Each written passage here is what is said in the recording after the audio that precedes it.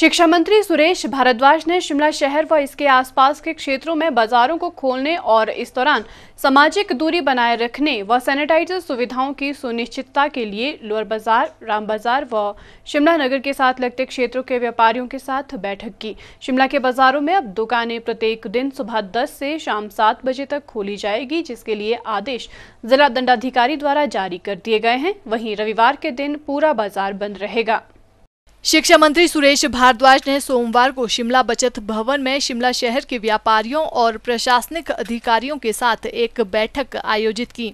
इस बैठक के बारे में जानकारी देते हुए सुरेश भारद्वाज ने कहा कि बैठक में शिमला शहर में बाज़ार को कितने समय तक खुला रखना है, इस विषय पर शहर के व्यापारियों के साथ चर्चा की गई।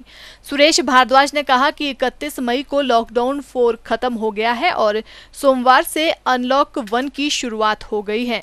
उन्होंने कहा कि धीरे धीरे सारी व्यापारिक गतिविधियों को शुरू किया जाएगा और सोमवार से परिवहन सेवा भी शुरू हो गई है। सुरेश भारद्वाज ने कहा कि बैठक में सुबह 10 बजे से शाम 7 बजे तक बाज़ार को खुला रखने का सुझाव दुकानदारों द्वारा दिया गया था और रविवार के दिन ज़रूरी सेवाओं को छोड़कर बाज़ार को बंद रखने की बात कही गई थी। सुरेश भारद्वाज ने इस दौरान दुकानदारों से कोरोना वायरस से संबंधित सभी निर्देशों का पालन करने का भी आह्वान किया ताकि इस वायरस के संक्रमण को फैलने से रोका जा सके। इकतीस मई को लॉकडाउन जो था, वो समाप्त हो गया है। लॉकडाउन फोर खत्म। आज से अनलॉक फेस वन शुरू हुआ है।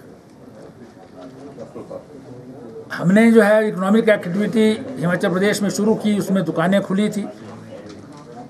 लेकिन शिमला में कुछ ऐसे बाज़ार थे जिनको हमने वन साइड खोला था वन साइड जो है वो अल्टरनेटेड डेज़ पर किया था।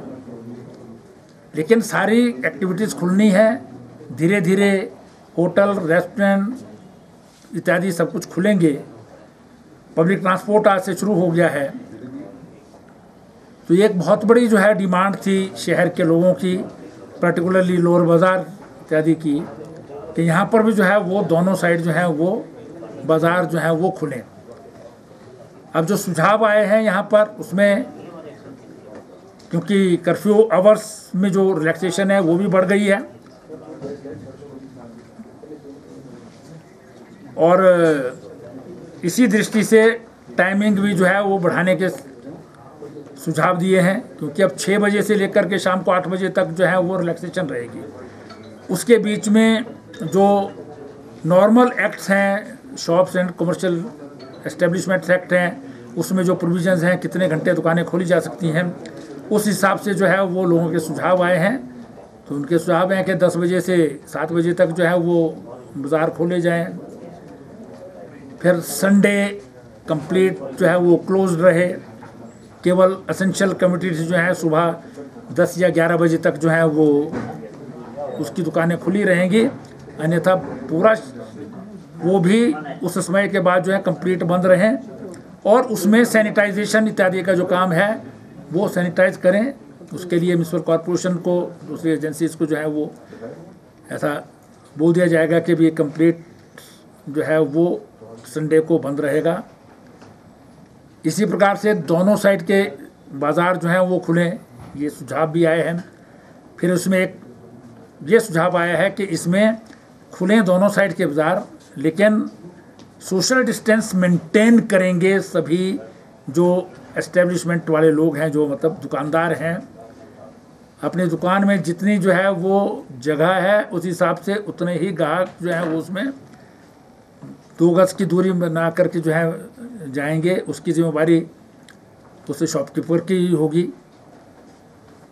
इसी तरह से जो है वो वन वे होगा।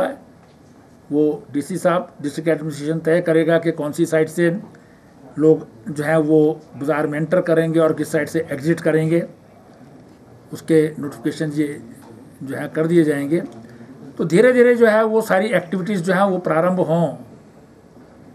इसमें बाकी स्थान जो है खुले रहें और एक दो स्थान किसी कारण से बंद रहें।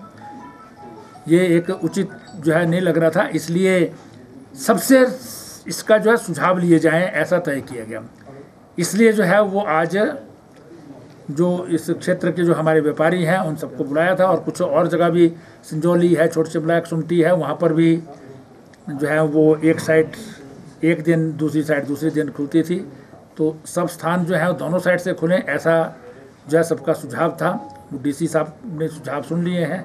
ये अकॉर्डिंगली जो है उसका नोटिफिकेशन करेंगे। जब वो नोटिफिकेशन करेंगे, उसमें तिथि, समय, सब कुछ तय करके जो है बताएँगे। उस हिसाब से जो जाएँगे इसलिए ये आज की बैठक का आयोजन किया गया था। व्यापार मंडल शिमला के अध्यक्ष इंद्रजीत सिंह ने कहा कि दुकानों के बंद रहने से दुकानदारों का कारोबार भी प्रभावित हुआ है। उन्होंने कहा कि अब शिमला में सुबह 10 बजे से शाम 7 बजे तक सभी दुकानों को खुला रखने की इजाज़त मिल गई है और इसके लिए उन्होंने प्रदेश सरकार साथ ही उपायुक्त शिमला का आभार भी व्यक्त किया। शिमला के व्यापारियों की जो आर्थिक स्थिति काफ़ी दयनीय है तो इसको चलते जब सभी सर्विसेज़ खुल गई हैं, जब बसेस खुल गई हैं तो हमारे व्यापारियों को दुकानें भी हर रोज़ खुलने का मौका मिलना चाहिए। तो आज उपायुक्त महोदय का मैं बहुत बहुत धन्यवाद करता हूँ, साथ ही हमारे स्थानीय विधायक भी यहाँ उपस्थित थे। तो आज जो व्यापारियों को है छः के छः दिन दुकानें खोलने का अवसर प्राप्त हुआ है, वो सुबह दस बजे से लेकर शाम सात बजे तक। और संडे को ये बंद रहेगा, इस निर्णय से हम काफ़ी संतुष्ट हैं। Bureau report, city channel, Shimla.